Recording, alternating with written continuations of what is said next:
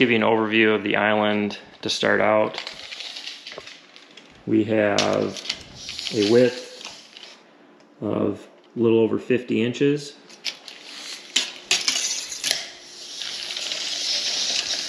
And then the length is 10 foot 4 inches. We have a quartz countertop, um, which is kind of personal preference. We have a farm sink in the middle. And when you think about designing your kitchen, um, if you're going to have an island in it, I always like to think about where I want to look at when I'm standing at the kitchen sink.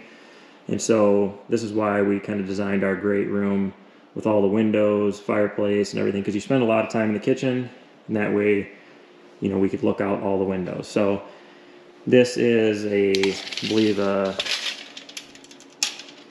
32 inch farm sink. Kind of it's centered in the middle. We chose to do two dishwashers